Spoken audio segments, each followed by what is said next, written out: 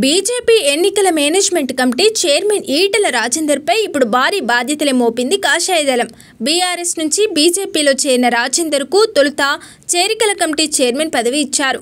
ప్రపంచంలో ఇలాంటి పదవి అంటూ ఒకటి ఉంటుందా? అంటూ బహిరంగంగానే వ్యాఖ్యలు చేసిన ఈటల బండి సంజయ్ అధ్యక్షునిగా ఉండడం వల్లే పార్టీలో చేరికలు జరగడం లేదంటూ అధిష్టానానికి ఫిర్యాదుల పరంపర కొనసాగించారు. ఈటల ప్రభావమో మరే కారణమో కానీ సంజయ్ను తప్పించిన కమలం పార్టీ కిషన్ రెడ్డిని అధ్యక్షుడిని చేసింది. అధ్యక్షుడిని మార్చిన ఈటలపై మాత్రం పెద్ద భారం మోపింది. అదే పార్టీలో చేరికలు పెంచడం ఉన్న నేతలను కాపాడుకోవడం ఈ టాస్క్ ఈటలను ఉక్కిరి బిక్కిరి చేస్తుందంటున్నారు.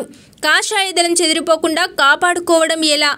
ఈటల ఏం చేయగలరు? బీజేపీలో తెరచాటు రాజకీయం ఎలా ఉంది? ఎన్నికల ముందు కమలం పార్టీ సరికొత్త సమస్యలు ఎదుర్కొంటోంది. బీఆర్ఎస్కు ప్రత్యామ్నాయం అంటూ దూకుడు చూపించిన కమలదళం కొన్నాళ్ళుగా అంతర్గత సమస్యలతో సతమతమవుతోంది.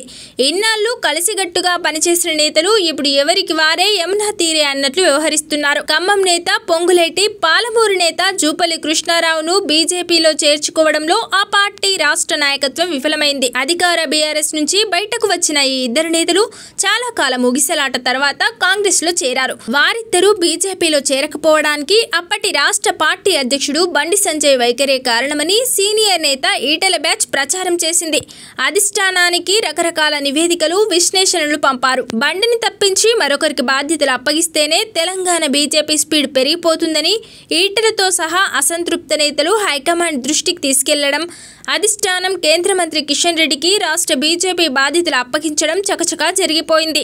అదే సమయంలో ఈటెలపై చేరికల భారం మోపింది అధిష్టానం. చేరికలకు సంజయ్ అడ్డుగా ఉన్నారని చెప్పిన ఈటెల ఇప్పుడు ఏం చేస్తారా అన్నది బీజేపీలో చర్చనీయాంశంగా మారింది. సంజయ్ పక్కకు తప్పుకోవడంతో బీజేపీలో చేరికలు పెరుగుతాయా అనే ప్రశ్నలు తలెత్తుతున్నాయి. రాష్ట్ర నాయకత్వం మారినా కమల దళంలో లొల్లి మాత్రం తగ్గడం లేదు. సంజయ్ని అకారణంగా తప్పించారని రగిలిపోతున్న చాలా మంది సీనియర్లు బీఆర్ ను గద్దె దించడం బీజేపీ వల్ల కాదని బహిరంగ ప్రకటనలు చేస్తున్నారు. మాజీ మంత్రి చంద్రశేఖర్ మాజీ ఎంపీ రవీంద్ర నాయక్ వంటి వారు పక్క చూపులు చూస్తున్నట్లు ప్రచారం జరుగుతోంది. ఇలాంటి వారిని కాపాడుకోవడం ఎన్నికల మేనేజ్మెంట్ కమిటీ చైర్మన్ ఈటలకు ప్రధాన బాధ్యతగా మారింది. ఉన్న నేతలను పార్టీ నుండి పోకుండా చూసుకోవడం కొత్త వారిని పార్టీలోకి తీసుకురావడం అనేది ఈటలకు బిగ్ టాస్క్గా మారింది. ఈ రెండింటిలోనూ ఈటల సక్సెస్ అయితేనే ఆయనకు కమలదళానికి కొత్త జోష్ వస్తుంది. ఇప్పుడు ఇదే ఈటలకు కత్తి మీద సామలా మారింది. బీజేపీలో ఎన్నడూ లేనట్లుగా ఈ మధ్య అసంతృప్త స్వరాలు బాగా పెరిగి పెరిగిపోయాయి ఎమ్మెల్యే రఘునందన్ రావు మాజీ మంత్రి వివేక్ మాజీ ఎమ్మెల్యే ఏనుగు రవీంద్రారెడ్డి ఎన్ఎం శ్రీనివాసరెడ్డి లాంటి వారు పార్టీ లైన్లోనే ఉన్నారా లేదా అన్నది తేలడం లేదు. వీరందరినీ గడప దాటకుండా కాపాడుకోవడం ఈటలకు సవాల్గా మారింది.